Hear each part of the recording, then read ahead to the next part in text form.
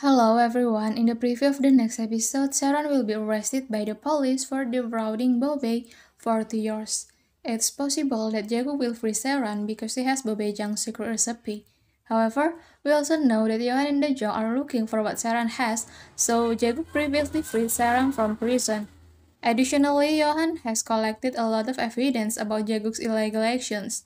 If Johan and Daejong threaten Jae-guk with the evidence they have, Seran may never be released from prison.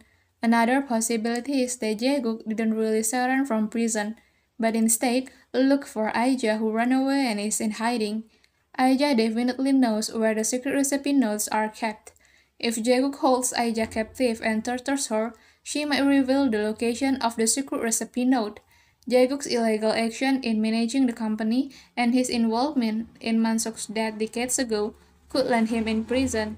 Although the case occurred decades ago and may have been closed, hopefully it can be reopened. Okay everyone, that's just my prediction and thank you for watching my video.